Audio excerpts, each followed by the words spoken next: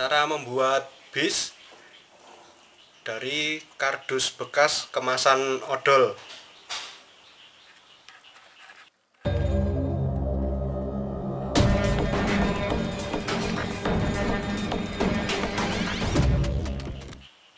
Ini adalah kardus bekas kemasan pasta gigi atau odol teman-teman yang ukuran 160 gram.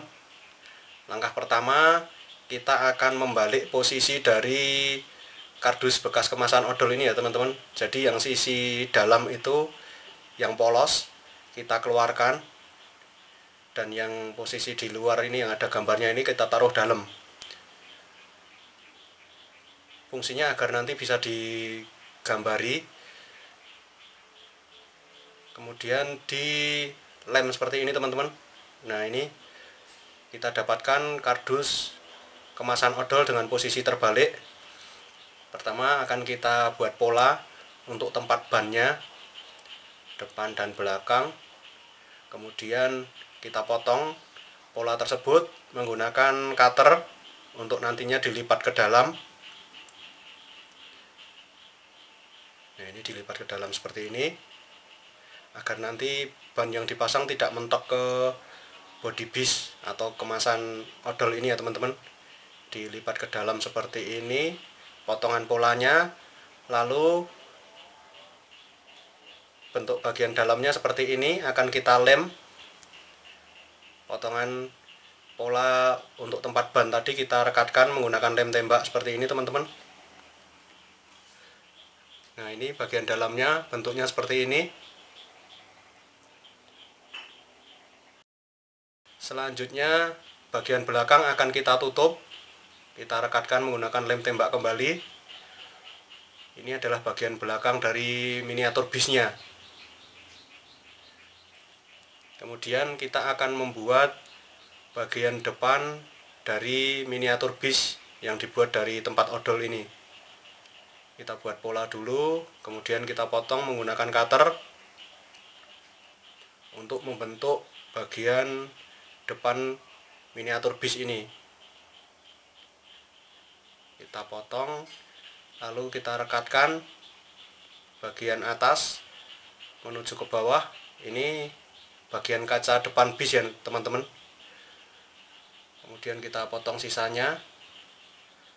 Dilanjutkan melipat bagian yang bawah ini dilipat ke atas sehingga bentuk bagian depannya sudah terlihat. Kita potong dulu sisanya sebelum dilem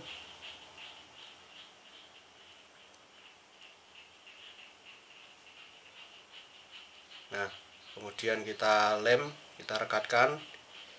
Ini adalah bagian depan dari miniatur bis. Lalu kita akan menghiasi bagian samping dengan menggambar kaca jendela pintu bis dan kaca depan belakang ya teman-teman.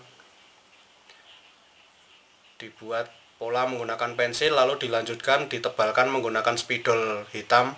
Seperti seperti pada video berikut ini ini bagian pintu dan kaca samping ditebalkan menggunakan spidol besar. Ini lampu depan belakang kita gambar juga. Kemudian ini bagian spionnya dibuat dari sisa potongan kemasan odol tadi untuk direkatkan di bagian atas kiri dan kanan. Kemudian ini box AC ditaruh di bagian atas. Lalu langkah selanjutnya kita pasang roda teman-teman. Roda ini adalah roda bekas dari mainan yang sudah rusak direkatkan pada potongan kardus bekas lalu ditempelkan pada bagian bawah bis. Untuk roda depan dan belakang kita tempelkan menggunakan lem tembak.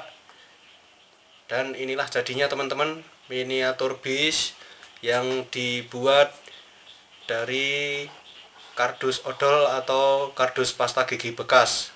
Teman-teman bisa membuatnya sendiri berkreasi sesuai dengan imajinasi teman-teman.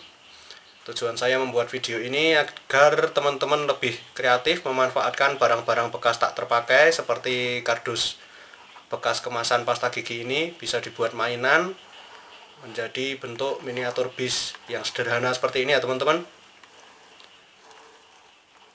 bisa dipakai untuk bermain bersama teman-teman atau untuk adikmu Oke teman-teman, sekian dulu video dari Hobi kali ini. Jangan lupa tinggalkan like dan komentarnya. Yang belum subscribe, jangan lupa subscribe. Nyalakan loncengnya juga. Dan sampai ketemu di video-video kreatif Hobi selanjutnya. Terima kasih teman-teman.